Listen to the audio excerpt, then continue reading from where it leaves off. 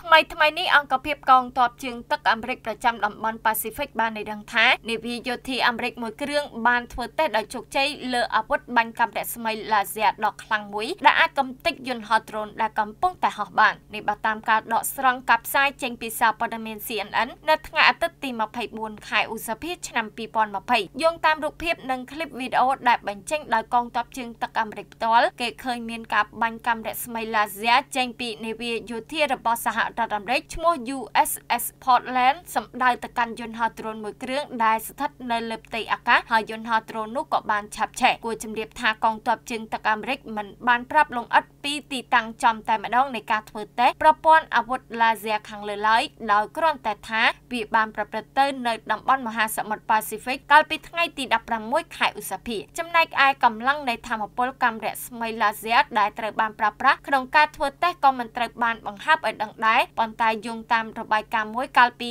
ឆ្នាំ